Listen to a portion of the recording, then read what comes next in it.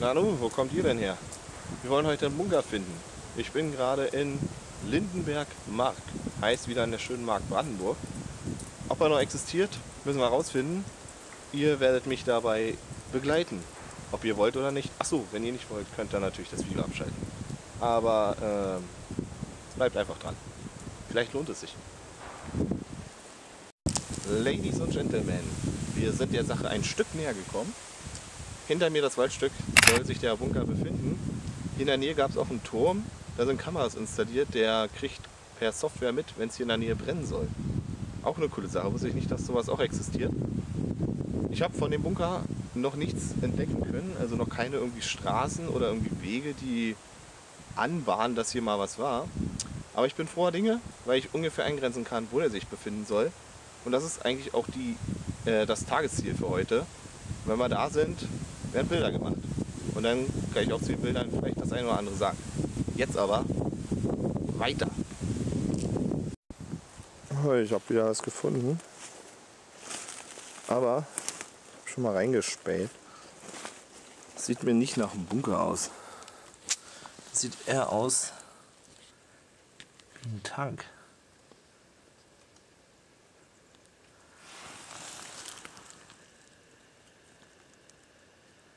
Oder? Also ich glaube nicht, dass hier dass das ein Bunker ist. Also muss hier irgendwo noch was sein.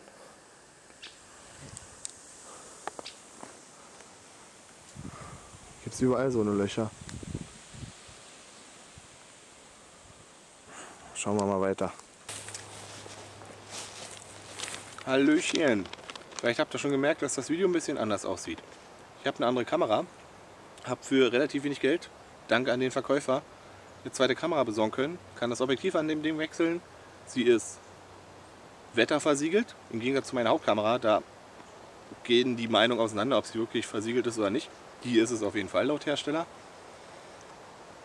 Und dient jetzt quasi hauptsächlich für Video damit ich mit der anderen mich mal mehr mit Fotos wieder beschäftigen kann. Weil mir ist aufgefallen, dadurch, dass ich mit der anderen mehr Video gemacht habe und das meine einzige Kamera war, habe ich irgendwie wenig Fotos gemacht.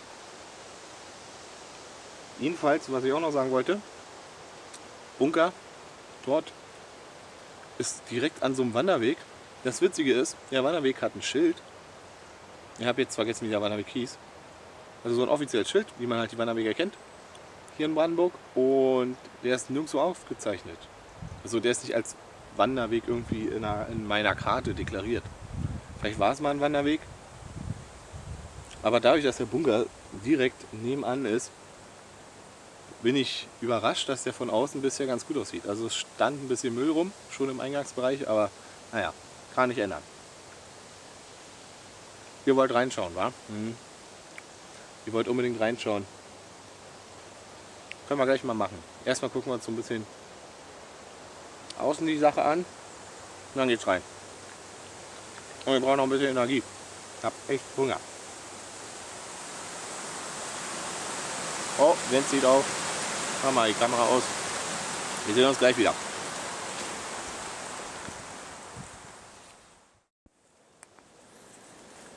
Oh, dann wollen wir mal ab in die Unterwelt.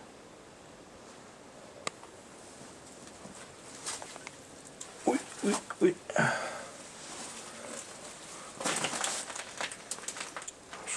Tür.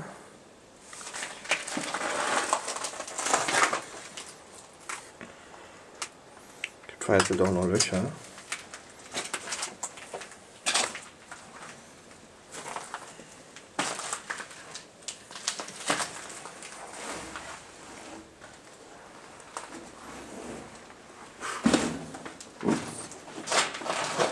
das wahrscheinlich ein bisschen sehr.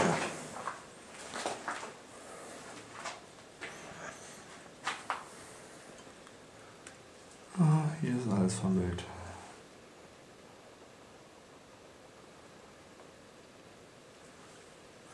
Falls noch jemand einen Stiefel braucht, da liegt noch einer. oh, ist das hier ein angenehmes Klima, sage ich euch.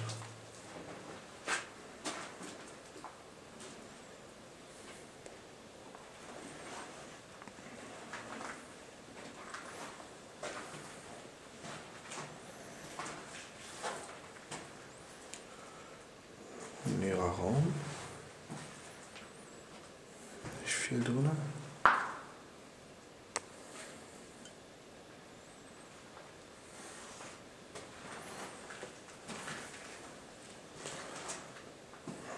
Noch ein bisschen Elektronik. Ah, oh, ja. Das ist viel Elektronik. Das muss ja von irgendwo eingespeist worden sein. Also hier muss noch irgendein zweiter existieren.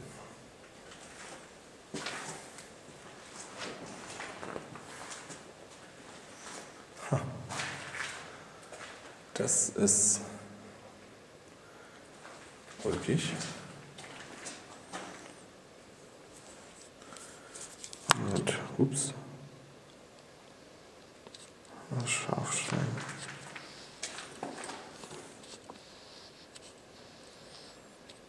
Ja, bei mir ist das alles noch händisch und manuell. Aber hier sind quasi Glaswand oder Glasbausteine eingesetzt. Und dahinter ist direkt der Märkische Sand.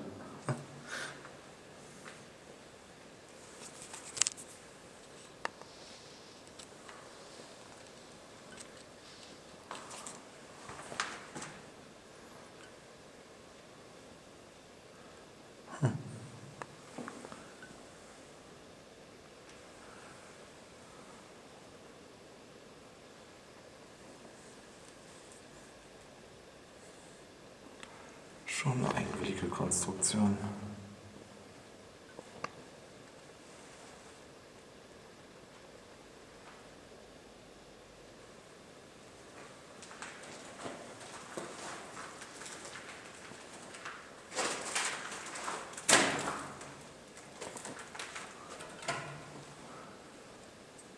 Oh, okay. Da wächst was.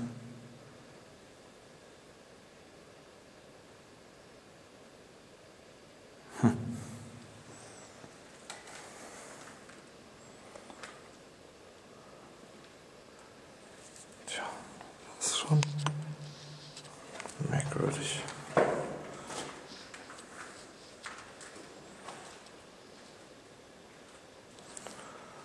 Gut.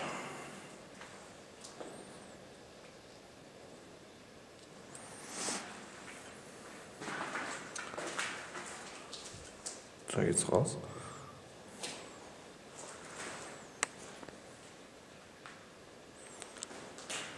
Aber ist relativ frei von Vandalismus, oder? Erstaunlich.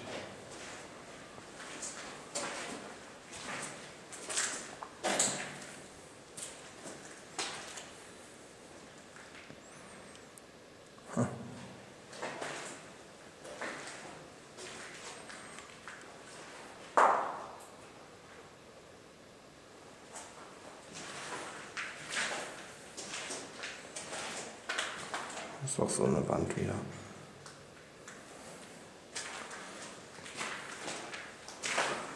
Sie könnte ja fast perfekt für einen Geocache sein, aber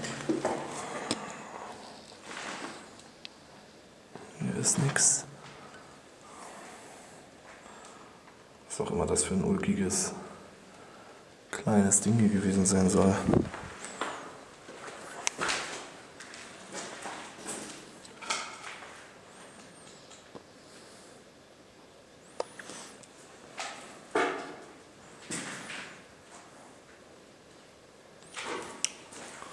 Okay, das war's hier wohl schon.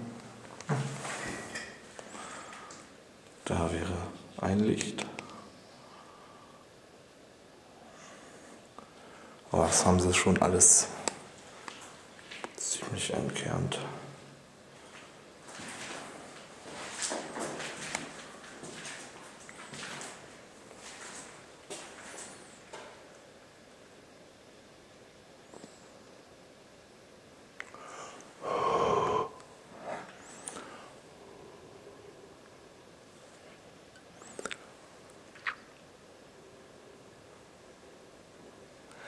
Schönes Klima hier drin.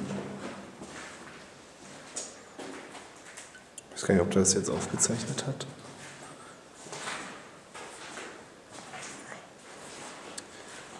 Und verzeiht mir die bisschen komische Kameraführung, aber muss mal gucken, wie ich das ein bisschen besser üben kann. Taschenlampe und Kamera zusammen. Und dann auch noch fokussieren. Ups. Ups. Alte Dose.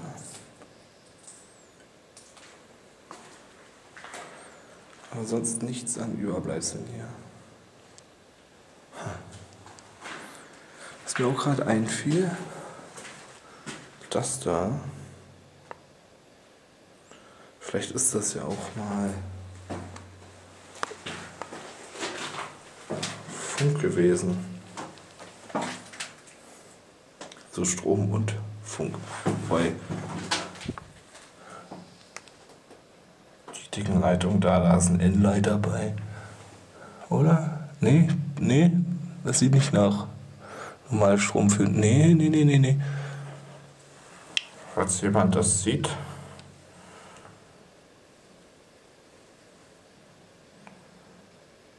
Das sind keine Strom, also keine für Licht und ähnlichem Strom für die Leitung.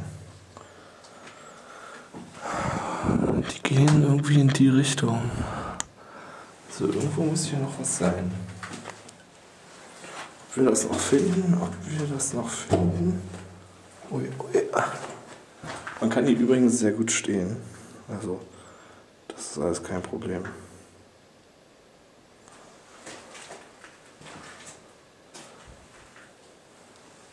Oh.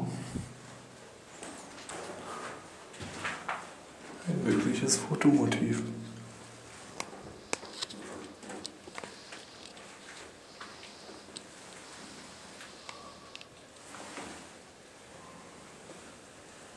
Oh Gott, die Decke ist so hoch, ich komme gar nicht ran. Aber ihr seht ja, was ich meine.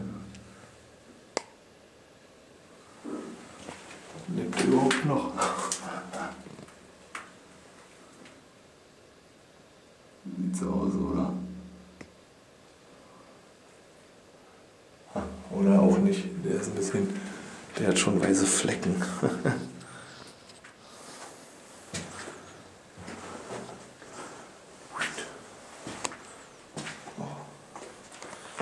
Leider halt auch keine Spuren der Vergangenheit. Also keine, die irgendwas aussagen könnten. Und ich glaube nicht, dass das von dem Bunker hier ist, so ein Teppich. Steht da irgendwas? Ja, aus so einer Gardine garantiert auch nicht.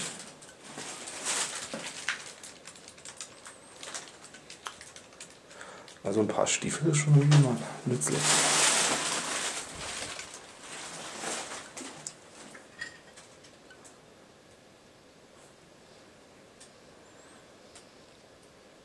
Hm. Nee. Ja. Okay. Hm, hier ist noch was. Achso, das sieht nach einer Steckdose aus.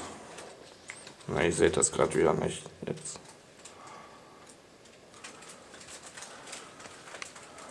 Da ist Strom. Das ist Strom. Das andere, was auf mein. Ach, hier ist ja noch einer. Huch.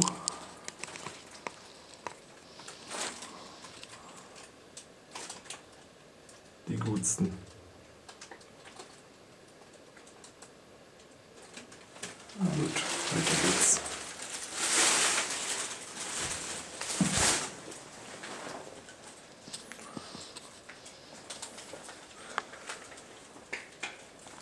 Dann geht's wieder raus.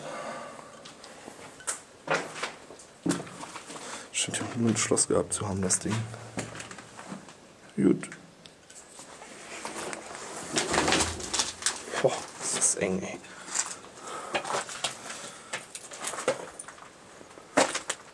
Ah, Hier wären wir wieder draußen.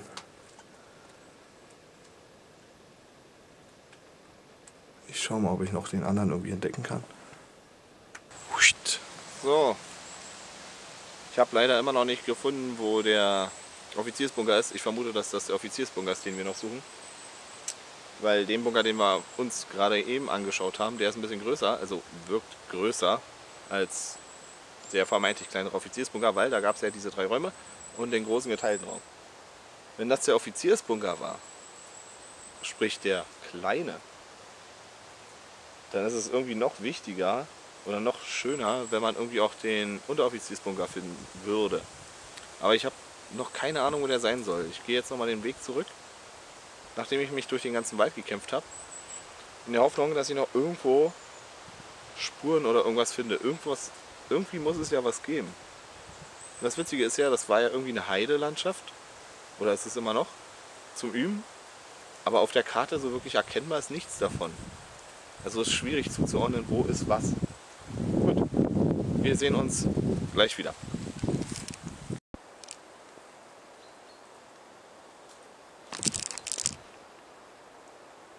Ich habe nicht gefunden. Keine Chance. Wüsste nicht, wo der sein soll. Und noch länger durch den Wald gucken wollte ich jetzt auch nicht, weil das wird langsam anstrengend. Und es wird dunkel und ich muss noch meinen Zug kriegen. Und ich habe blöderweise mir nicht gemerkt, wie lange ich überhaupt hierher gebraucht habe von dem Dorf mit Bahnhof zum zweiten Dorf ohne Bahnhof. Tja, hätte ich mir mal merken sollen. Ich lasse es euch wissen. Wir haben jetzt die Uhrzeit und ich hoffe, dass ich noch irgendwie einen Zug kriege. Bis 22 Uhr fährt einer, also eigentlich habe ich noch Zeit, aber ich wollte nicht erst irgendwann bei Nacht in der Stadt ankommen. Falls wir uns nicht mehr sehen, sehen wir uns nicht mehr.